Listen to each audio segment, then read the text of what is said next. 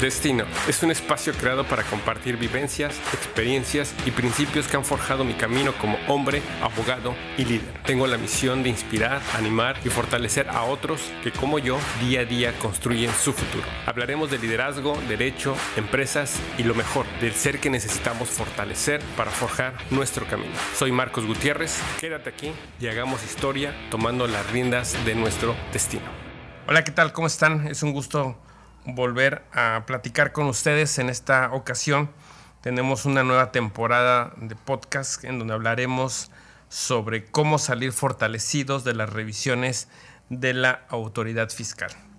Ya en otros capítulos hemos platicado respecto de algunos detalles importantes sobre cómo atender, quién debe atender y de qué manera poder hacer las cosas ante las revisiones de las autoridades fiscales de mejor forma. Y en esta ocasión hemos eh, decidido platicarles de un tema que es un poco técnico, pero que al mismo tiempo les puede dar una idea general de cómo funcionan las autoridades fiscales. Concretamente, el, Servicio de Emisión Tributaria, o SAT, y es eh, relacionado con la distinción respecto de las facultades de gestión y las facultades de comprobación. Recuerden que el derecho fiscal es un área que se sustenta en el derecho administrativo que es el derecho justamente que regula las relaciones entre el Estado y los particulares. Y eh, de ahí deriva justamente que el derecho fiscal tenga que ver mucho con la regulación de cómo las autoridades fiscales deben actuar. Un principio de derecho o que está regulado con relación a las autoridades es que éstas solo pueden hacer lo que la ley les permite, es decir, no pueden eh, no pueden mm, actuar de manera arbitraria o no pueden eh, actuar de tal forma que eh, la ley no les dé atribuciones para ello. Y entonces de ahí surge eh, el tema de qué sí puede hacer, es decir, lo que, lo que la ley le permite y qué es lo que no puede hacer. A diferencia de nosotros los particulares, en donde podemos hacer justamente todo lo que no esté prohibido. Las autoridades no. Las autoridades solamente pueden llevar a cabo los actos que la ley les autoriza. Y esto se pone muy interesante porque justamente lleva a, la obligación que tienen las autoridades para poder eh, actuar y cumplir ciertos requisitos o ciertas formalidades que la propia ley les establece. Ahora, la ley, concretamente el Código Fiscal, establece lo que se conoce como facultades de gestión, también conocidas como facultades de control.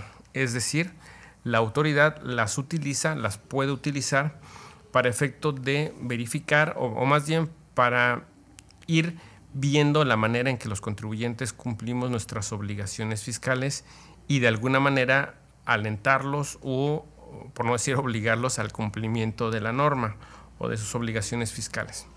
Mientras que las facultades de revisión o de comprobación se refieren a estas atribuciones que la autoridad fiscal tiene justamente para revisar, para auditar, para verificar que el contribuyente haya cumplido la norma o sus obligaciones tributarias en los términos que la propia ley establece. Y entonces así tenemos este, esta dicotomía. Uno, facultades de gestión, es decir, estas atribuciones que la autoridad llevará a cabo para ver cómo se cumplen o ver que se cumplan las obligaciones fiscales y las facultades de comprobación que van orientadas a comprobar, auditar, verificar que se hayan cumplido como debía. Actualmente el gobierno federal desde el sexenio pasado eh, ha hecho un uso muy agresivo y de una manera pues bastante mm, insidiosa en el tema de las facultades de gestión. Antes, eh, la manera en que la autoridad revisaba o que la autoridad eh, llevaba a cabo la, verificación del cumplimiento de las obligaciones era a través de las facultades de gestión. Pero ahora no, ahora es a través de las facultades, perdón, a través de las facultades de revisión es como, como gestionaba, ahora es a través de las facultades de gestión. Y, con base en diferentes programas de, del, gobierno federal, que, están vinculados pues, con la verificación de los contribuyentes. Y voy a poner algunos ejemplos que a lo mejor les pueden resultar como familiares. Uno es el envío, por ejemplo, de correos electrónicos en donde constantemente nos están diciendo que ha detectado que no cumplimos nuestras obligaciones fiscales, que no hemos presentado una declaración, que ya se nos pasó el tiempo para, para el pago, o incluso en algunos casos más eh, atrevidos, la autoridad fiscal viene y nos dice que no, eh, que, hay diferencias o que advierte inconsistencias en nuestra contabilidad o en el pago de nuestros impuestos y entonces nos sugiere a nivel como de recomendación, pero casi casi también a nivel de exigencia, a que paguemos, regularicemos, verifiquemos o hagamos actos de presentación de declaraciones complementarias para ajustar nuestro, nuestro comportamiento fiscal de acuerdo con lo que se había venido eh, haciendo en, algún otro periodo o lo que se, se venía este, trabajando previamente. Eh, además están los mensajes de texto. Yo en lo particular he recibido varios en el sentido de, ah, tienes un mensaje en tu buzón tributario, éntrale, ¿no? Y ya cuando recibes eso, pues te da ya eh, cierta idea de que la autoridad pues está justamente motivándote o está sobre ti para que cumplas tus obligaciones fiscales. Están llamadas telefónicas, están las cartas invitación respecto de que ya identifique que hay inconsistencias en tus sistemas contables y entonces tienes que regularizarte. Están citas para que vayamos a las oficinas de la autoridad para que nos den a conocer las actividades o las inconsistencias que a consideración de la autoridad están ahí presentes. Y esto que ha llevado, eso la verdad ha sido un éxito rotundo. Eh, cuando lo descubrió el SAT, pues mm, se, pudo dar cuenta que ahí estaba la carnita y entonces cada vez ha prestado más atención a esto sobre, sobre el tema de las auditorías fiscales o las facultades de comprobación. Tan es así que eh, hay un éxito rotundo en los niveles de recaudación porque pues muchas veces el contribuyente ya sea por ignorancia, ya sea por temor, ya sea porque está mal asesorado, ante una notificación de este tipo, pues decide pagar sin chistar o eh, no quiere tener problemas y hace lo propio para eh, quitarse de este tema y presenta declaraciones complementarias o paga o eh, se pone de acuerdo con la autoridad para que no continúen con los actos de, que tienen las facultades la autoridad. Porque además, si, si hemos de decirlo, si tú desatiendes un tema de esos, por ejemplo, te llega una carta de invitación y no lo atiendes, no dices nada o te llega un correo electrónico en donde la autoridad te dice, ya te caché que, me debes por aquí algo o hay una inconsistencia y tú no lo atiendes, lo más seguro es que la autoridad lo tome como, como un acto de rebeldía, como un acto de, confrontación o un acto de, de, pues de, a ver, vamos a ver cómo, cómo, nos, cómo nos peleamos y el siguiente nivel o el siguiente paso es que te ejerzan ahora sí una facultad de comprobación. Y esas facultades de comprobación básicamente tenemos tres. Revisión de gabinete, que es cuando la autoridad pide que le llevemos a su domicilio nuestra contabilidad y los elementos que le integran. Y ahí es donde va a revisar y va a determinar si cumpliste bien o no. La segunda, que es la visita domiciliaria, en donde la autoridad va a tu domicilio, te revisa ahí, verifica que hayas cumplido con, con los pagos debidamente eh, como lo establece la norma, y también va a verificar los elementos de tu contabilidad. Y la revisión electrónica, que es esta en donde, con base en los elementos que ya cuente la autoridad en su sistema, díganse declaraciones, estado de cuenta bancarios, em, e información que pudo haber pedido de otras autoridades, hace una revisión y cuando te notifica te dice que crees, ya detecté que hay una diferencia y entonces me debes. Punto. Entonces, las facultades de comprobación, las tres, tienen, cada una tiene un procedimiento, tiene etapas, tiene requisitos que la autoridad debe de cumplir. En caso de que no lo cumpla, caería, caería en un acto ilegal que en un juicio o en un medio de defensa podría venirse a cabo, abajo. Eh, para la autoridad, les decía, las facultades de gestión han sido un hit porque además a ellos les requiere menos, menos eh, esfuerzo, menos trabajo, menos eh, destinar menos recursos, ya sean físicos o materiales, para la revisión o la auditoría.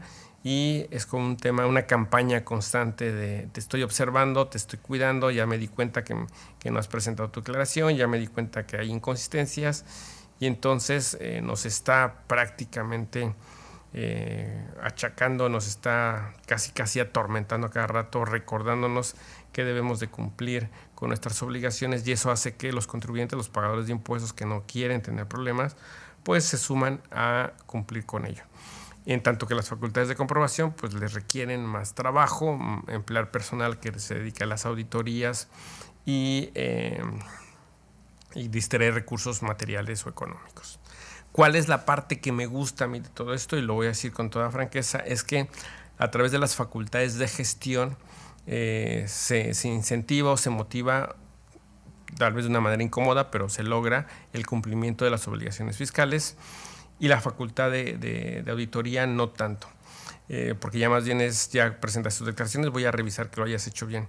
Pero sobre todo un tema que aquí me, me gusta es que creo que las facultades de gestión disminuyen los actos de corrupción. Porque las auditorías de visión de gabinete o la domiciliaria todavía hay mucha interacción entre el particular y los auditores y creo que eso da pie a muchos actos de corrupción. ¿De qué manera? Pues en el sentido de ya te identifiqué que tienes estos proveedores que no tienen soporte documental o legal, entonces te voy a rechazar estas deducciones o te voy a, incrementar tus ingresos, pero pues si podemos ponernos de acuerdo, pues hacemos que esto sea una cantidad menor y me das un dinero por fuera y otro en la caja y entonces de esa manera lo solucionamos. Lo que no pasa tampoco en la revisión electrónica, que la revisión electrónica creo que en ese sentido es una, una facultad que debería de explorarse más. De hecho, eh, desde mi eh, trinchera en Coparmex aquí en, en, Quintana Roo, en algún momento yo cuestioné severamente eh, al gobierno del Estado por qué razón no había, en, cuando se, se, creó el SAT QRO, porque no existía la figura de la revisión electrónica. Meses después se implementó, pero lo cierto es que hasta el día de hoy no, no hemos visto que realmente estén aplicando esta figura, que es la, revisión electrónica, y que yo creo que en la medida que se empiece a utilizar de manera proporcional, habrá más recaudación porque ya sobre base cierta, que es los elementos que cuenta la autoridad, y habrá menos corrupción porque se le quita, eh, y está comprobado que en la medida que hay menos interacción entre los funcionarios y los particulares, la corrupción evidentemente disminuye. Entonces, ojalá, ojalá, y este, yo soy un partidario de la revisión electrónica y evidentemente eso pues generará que los contribuyentes estén cada vez más preparados también y sofisticados para que en caso de afrontar estas revisiones se tenga la capacidad de poder eh, afrontar o atender debidamente. Bajo este contexto, solo concluir que hay dos tipos de facultades de las autoridades fiscales, facultades de gestión, motivar, incentivar, apretar el, cumplimiento y el pago de impuestos, y las facultades de revisión, que consisten ya en verificar, auditar, supervisar cómo, cómo se hizo el cumplimiento de las obligaciones fiscales. Cada una tiene un procedimiento diferente, cada una tiene etapas diferentes, cada una de esas facultades se debe de atender de manera diferente, pero sobre todo siempre, siempre de la mano de un experto en derecho fiscal, un abogado y también con la ayuda de un contador. Sin más, espero que haya sido de utilidad y continuamos en el siguiente capítulo abarcando más de cómo salir fortalecido de las auditorías fiscales.